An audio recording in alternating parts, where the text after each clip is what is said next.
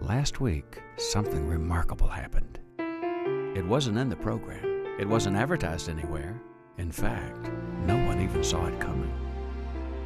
It wasn't always perfect, but my love was, was always true. And what we made will echo through the years. Romance, now playing in Branson. Call 1 800 Branson or visit explorebranson.com.